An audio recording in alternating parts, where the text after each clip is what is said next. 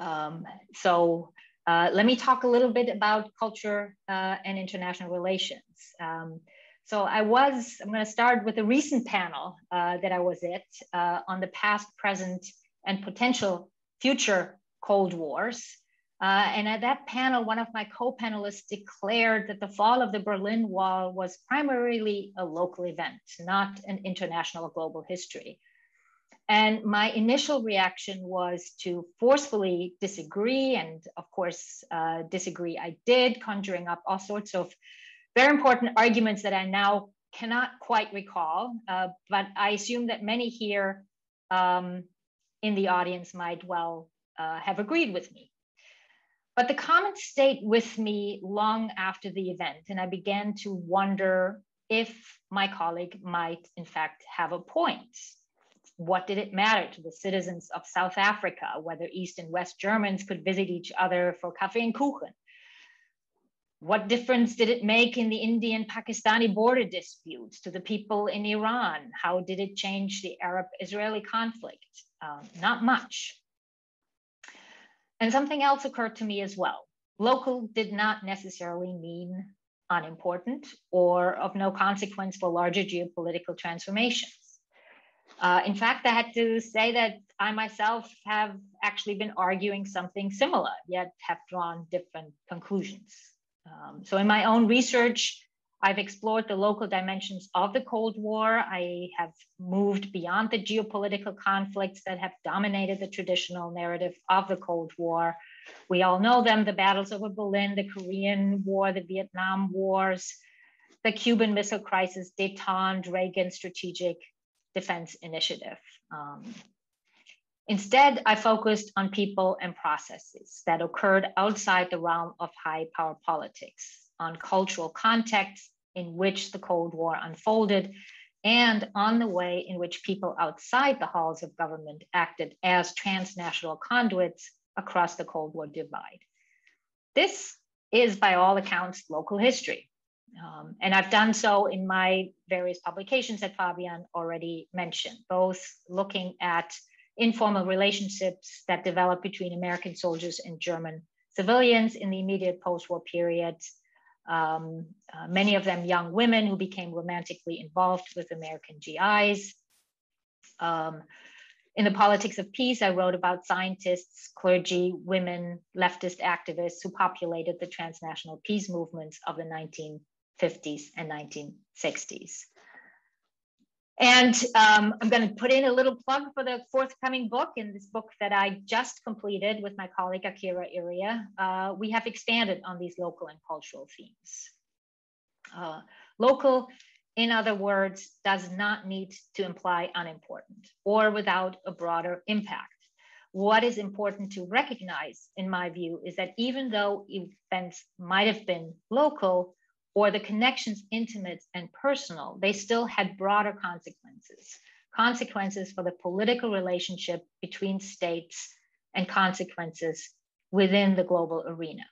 And that is what I want to uh, explore uh, with you or want to talk about today. Um, to put it simply, I want to ask the question of how our understanding of historical events changes when we examine them through a cultural lens. And I've chosen the Cold War as a case study here because it has been studied so exhaustively as a geopolitical event, because it demarcates a clearly defined historical period, and because its cultural facets are so varied and so rich. So the more specific question I want to tackle is twofold. One, what significance do cultural elements have in the historical narration of the Cold War? And two, how does our understanding of the Cold War as a whole change when we apply a cultural approach? So for the remainder of the talk, I will take you um, on a tour of seven. In fact, I will tell you later it's five, but, but for now I'll stick to seven. Uh, five ways of viewing the Cold War through a cultural lens. Um, I should also mention that none of this is new to those of you who have kept abreast of Cold War historiography over the last two or three decades. But it is also true that little of this tremendous amount of knowledge has actually made it into the kinds of popular Cold War histories that most Americans and Germans read. So I've chosen seven arenas which not only showcase the cultural dimension of the Cold War, but also alter the way we interpret the Cold War as a historical era.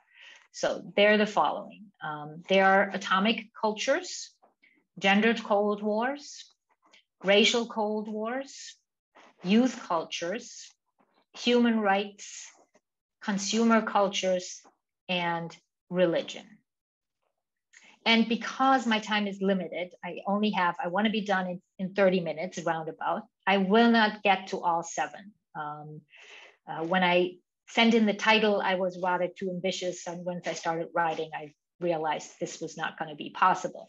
So I am actually cutting out religion and cutting out consumer cultures, but am happy to talk about both of these in the Q&A if you're interested.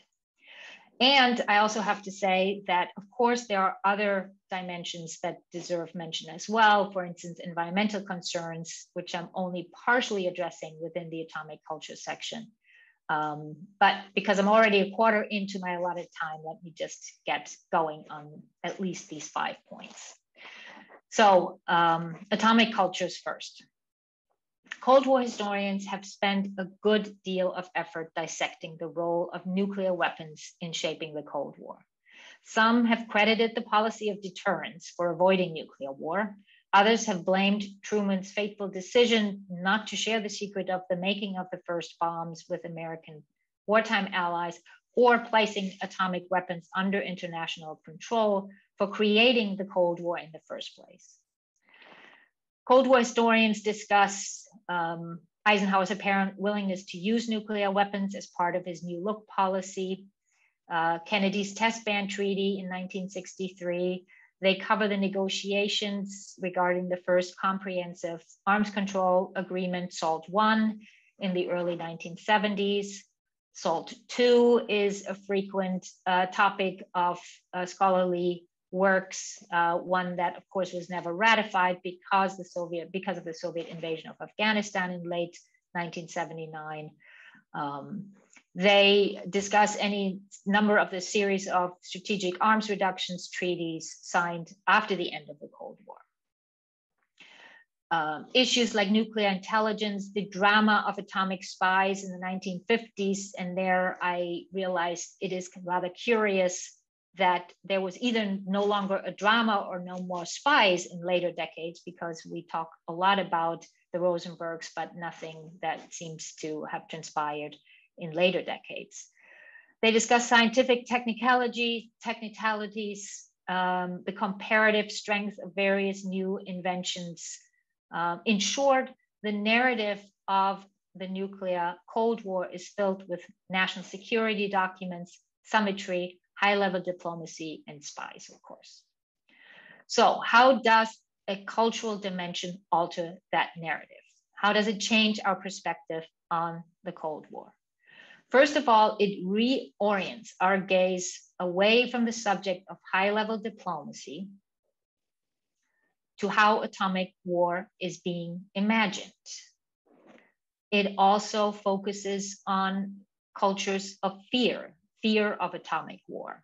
Um, it focuses um, on Soviet and um, it, it's it focuses on the Soviet and European uh, cultures that dealt with the anxiety about nuclear war, things like fallout shelters.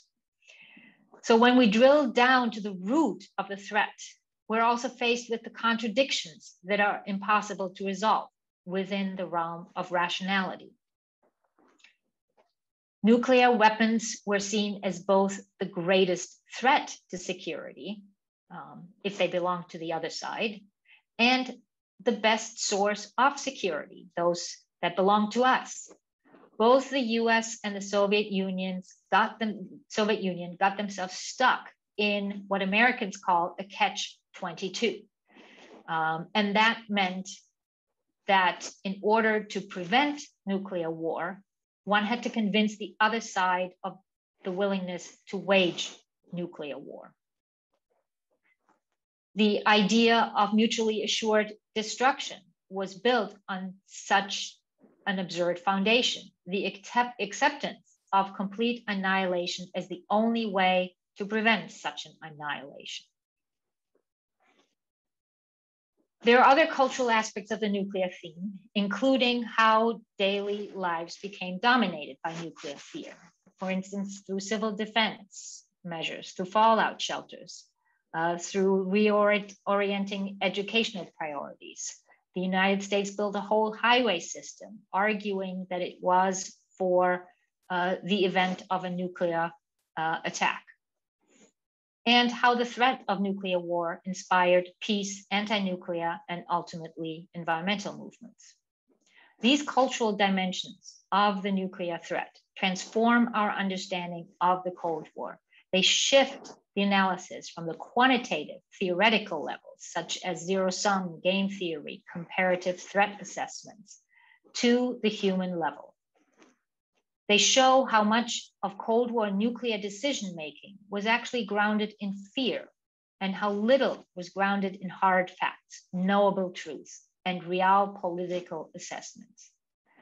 And it opens the perspective to the multiple challenges to the Cold War paradigm, um, challenges that undermined the idea of a Cold War consensus that existed at the state level.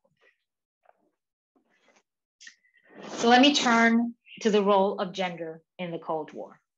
Before the advent of the cultural turn, not a single volume, lecture, or article on the Cold War addressed the issue of gender. Though once people started looking, they noticed it everywhere. There are two dimensions to the use of gender within historical analysis. One is to examine the role of women um, their role in shaping historical transformations, as well as the effect of historical transformations on them. So we have historians like Elaine Tyler May, Liz Cohen, Melanie Ilić, and Helen Laville, um, and others who have documented the ways in which women's lives were affected by the Cold War and how women in turn engaged and altered the national and international discourse around Cold War threats um, how they engaged in peace overtures, uh, how they shaped home life and education. So to take one example, Elaine Tyler May wrote about the idea of the nuclear family as a protective cocoon against the outside threats of nuclear war and communist subversion. Women were expected to contribute to civil defense by preparing their homes for a potential nuclear attack. You can see here uh, in the image um, the perfect um, outfitting of a um, of a middle class homeless uh, shelter with lots of canned goods, uh, games, and and if, I don't know whether you can see um, what the the dad in the picture is holding either a shovel, but there's also guns involved to protect against outside intruders. Um, in short, national and domestic security became inextricably intertwined. One other example is the famous kitchen debate between Vice President Richard Nixon and the Soviet Premier Nikita Khrushchev. They're seen here um, at the American exhibition in Moscow in 1959. And they stopped at this particular exhibit of a model American kitchen. Um, and you see on the right there a washing machine, and Nixon pointed to all the new amenities uh, in the kitchen that made women's domestic chores so much easier, for instance, the washing machine. And Khrushchev countered that Russian women were out in the world working for a living and not cooped up and hidden away in the home.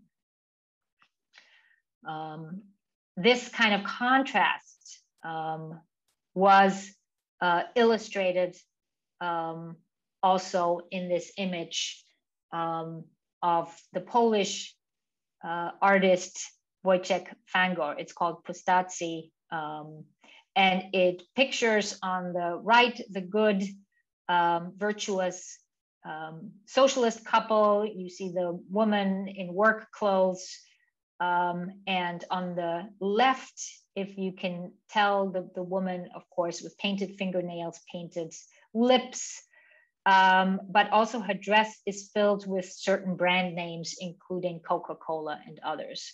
So the image that was conjured up here uh, was that communist, socialist women were producers, Western women were uh, consumers. Um, of course, women also played different uh, roles in the Cold War. This is, of course, a cliche that that the Soviets, but also Western uh, women played up, or Western Western media played up. But of course, we also know that women played a crucial role in uh, challenging the Cold War par- paradigms in um, peace movements of the 1950s and 60s. Um, they contributed to challenging the Cold War consensus uh, and forging informal cultural contacts across the Cold War um, divide, something that can only become visible once historians look beyond high power politics. The other dimension uh, of the gender approach is reflected in the use of gender as uh, an analytical category, uh, as a historical category of analysis. Um, and here, the work of Joan Scott is really crucial, uh, has been very crucial to foreign relations historian. Um, her article, Gender, a Useful Category of Analysis, which was published in 1986, uh, um, opened opportunities for gender research in international relations history. She demonstrated how gender served to signify relations of power, uh, opening up a whole new way of analyzing the Cold War. Um, and historians have followed up with that. For instance, uh, Robert Dean has shown how an obsession with appearing tough guided many of the discussions uh, and decisions within the Kennedy White House when it came to dealing with international crises, particularly the Berlin crisis and the Cuban Missile Crisis. On the flip side, uh, was the obsessive concern with alleged homosexuals in the State Department, as documented in detail by historian David K. Johnson's The Lavender Scare. So his work aptly demonstrates the intersections um, um, between the intersection between gender troubles and national security concerns. We have other works in the international arena foreign where foreign countries were seen and treated in gendered terms, and gendered language was used to legitimize and justify power inequalities between nations. Uh, we also want to point out briefly this anthology by Philip Muehlenbeck about gender, sexuality, and the Cold War um, um, that also contributed, uses this uh, analytical tool. Of course, this was not a phenomenon unique to the Cold War. Um, uh, gender had shaped foreign relations debates before the Cold War and continues to shape politics and international relations to the present.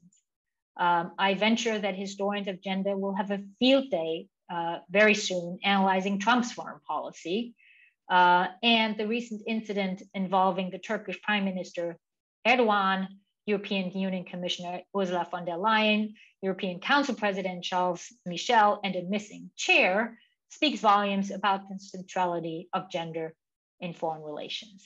Um, but before I digress, I could, I could go on about this. Um, let me actually move on to the third point, uh, and that is racial Cold Wars.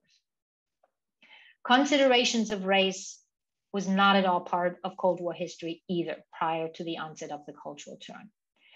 The impetus here, as in other arenas, came from outside diplomatic history, initially from US civil rights historians who noted the uh, global dimensions of the civil rights movement, um, who noted the parallels uh, that, that civil rights activists drew between their domestic struggle for equal rights in the United States and the anti colonial struggles in Africa and Asia for national independence.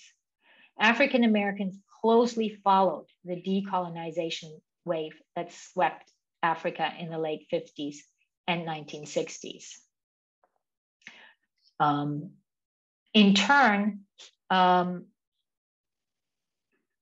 that those movements changed the course and rhetoric of the civil rights movement in the United States. It did help give rise to the Black Power movement of the mid 1960s, and it introduced an anti colonial vocabulary that differed markedly from the earlier integrationist arguments. Um, Black power activists and civil rights activists uh, started using language, uh, the language of struggle, of liberation, self determination, and nationalism. Um, you might right now ask the question what does all this have to do with the Cold War? And you are uh, right to ask, because in many ways, decolonization was a process that unfolded outside the purview of the Cold War. But once we look closer, we see the Cold War looming over every instance of national liberation. Both sides wooed the newly independent countries and vilified the other side. The Soviets, of course, pointed to the racial inequality stubbornly persisting in the United States, particularly in the American South, and labeled the Western meddling in the post colonial states as an instance of neo imperialism. The Americans, on the other hand, warned countries seeking uh, uh, independence that the Soviet Union would fall short would fall short of its promise of economic prosperity, freedom, and equality.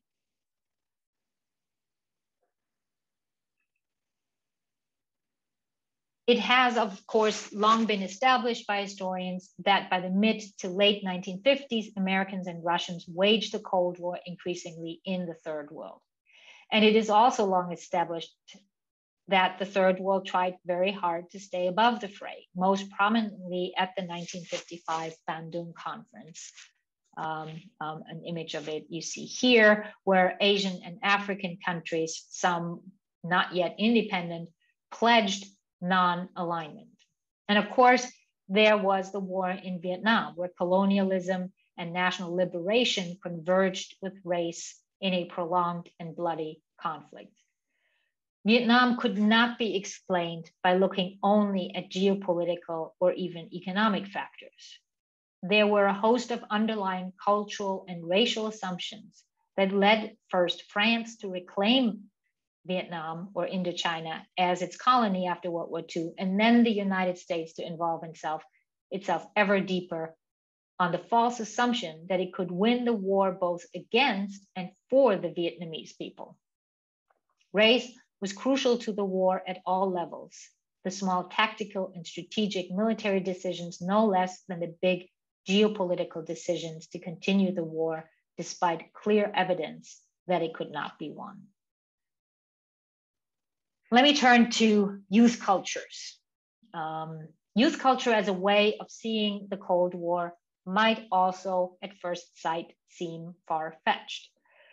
But youth, I argue, became the most persistent agents of change in the Cold War and ultimately in the way it was conducted. And I'm talking about several generations of youth who challenged again and again the Cold War consensus, each in their own way.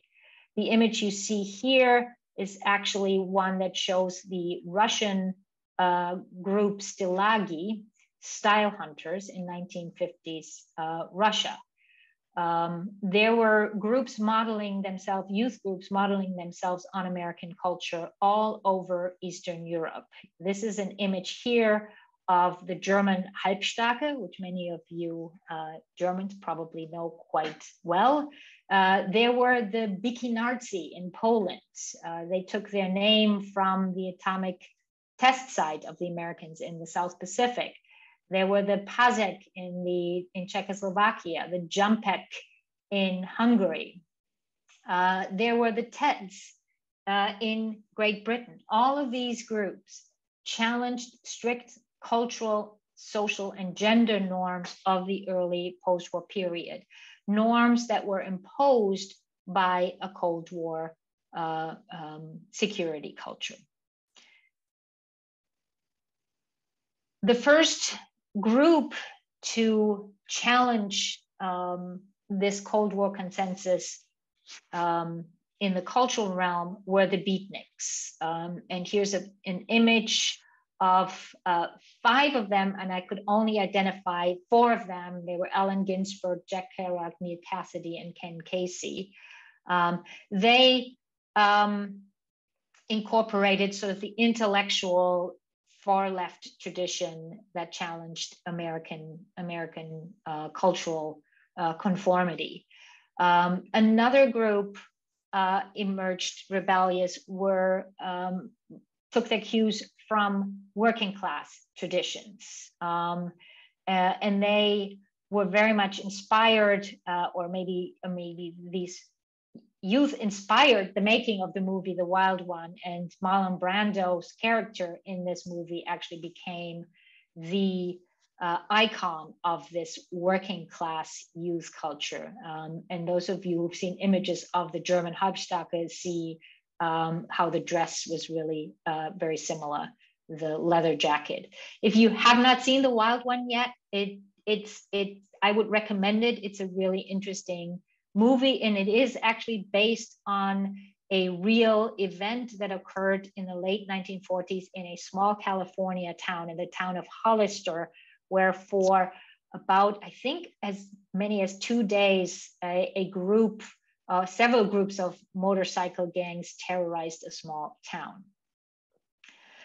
The Cold War connection of these various youth movements was both contextual as well as causal. Um, the 1950s saw the first stirrings of rebellion by young people against the social and cultural constraints imposed by the Cold War uh, social system. This system required conformity. It frowned on those with a different lifestyle, different sexual orientation, different ways of dressing, uh, all in the name of national security. Censorship, surveillance, conformity were the hallmarks of not just Eastern European societies, but Western ones as well. And it crossed the East West divide with a strong influence of American youth culture on young people in the Soviet bloc, as I pointed out with these different groups earlier. What's interesting is that the Soviet Union attempted to co opt some of that youthful spirit by staging a World Youth Festival in 1957 in Moscow um, and that youth festival, for the first time in the Cold War, brought together Eastern and Western youth in a multi day festival that featured street performances, open air jazz, folk music concerts, and the likes. It also included some political rallies, but the atmosphere was remarkably loose and remarkably infused with um, music that youth in both Eastern Europe and Western Europe and the US actually liked. The youth who attended the festival, even the few Western participants, largely enjoyed the opportunity for direct exchange across the Cold War divide. But whether this event did more to endear communist youth to Western culture than endear Western youth to the communist way of life was not quite uh, clear. The next wave of youth activism became more political. Um, and that was the 1960s protest movements that emerged out of the civil rights movement in the United States and spread to Europe, Latin America, and Asia. These movements um, uh, featured uh, important themes, um, not just civil rights, uh, racial equality, but also eliminating nuclear weapons, overcoming the Cold War divide, and of course, challenging the Vietnam War.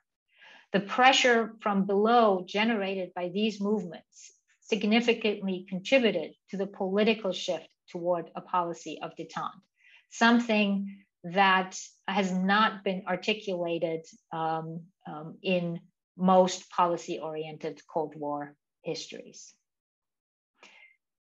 And of course, then we have a new wave of protests in the 1980s with new anti nuclear uh, demonstrations that opposed the stationing of medium range nuclear weapons in Western Europe and called for the abolition of nuclear weapons altogether. This was in reaction to the NATO double track decision um, um, in, in, the, in the early 1980s.